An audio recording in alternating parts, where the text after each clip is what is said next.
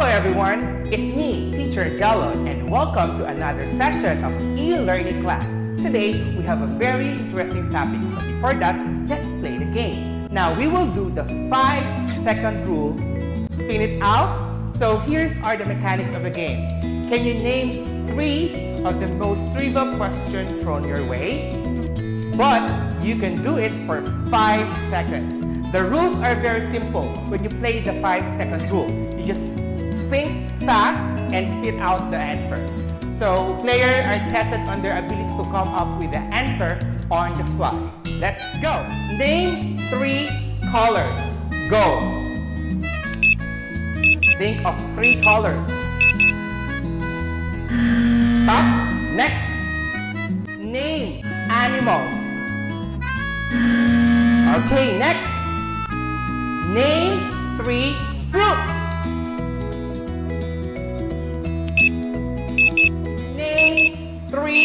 Profession. For example, I am a teacher. Can you think another word? Are you ready? Let's go. Faster. Think and think and spit it out. Okay. Okay, that's our game. I hope you enjoy. Just be, think fast, and say it fast. Hello there. Okay, I have something here. What do you think is it? Is it an animal or an insect? Think of it. If you think it's an animal, hands up. If you think it's an insect, clap your hands. If you choose insect, that's correct. So what this ants doing in our topic?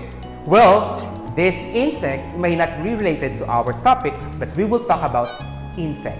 Are you ready? Let's start. Fireflies in the Summer, Unit 1. Mom and Dad took Dodie, Buddy, and me on a homestay trip to the countryside.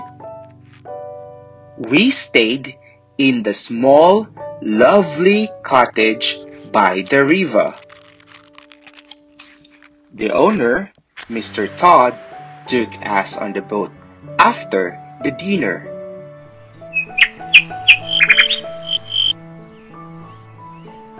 He told us to stay quiet and rode quietly to a big tree. There were small dots of flickering lights around it. There were fireflies. One of them flew onto my hand. I thought it would burn, but it wasn't hot at all. Dodie and I wanted to catch some and take them back with us, but mom and dad wouldn't let us. Dad told us that their lives were short. They would die before we got home. He said that fireflies needed fresh air and clean water. And that tree was their home, so we should let them live happily there. We just watched them for a while and then went back to the cottage. That night, when the lights were out, I closed my eyes and saw the fireflies in my dream. Good night. Hello, how's the story? I hope you enjoy our simple puppet show. So, to test if you really understand the story, I have some questions for you that you have to answer. Question number one. Who are the characters in the story? What is their names? Think.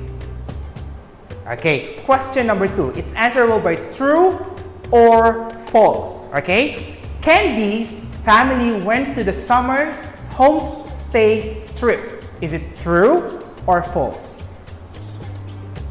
Okay, and for the last question, what is the moral of the story? You can comment down below your answer and let's see who can get the prize. Okay, At the end of our e-learning session. I hope you enjoy our topic for today. So please don't forget to like and press the bell button below to update you for all our next video. Till next time, again, I'm Teacher Angelo saying goodbye!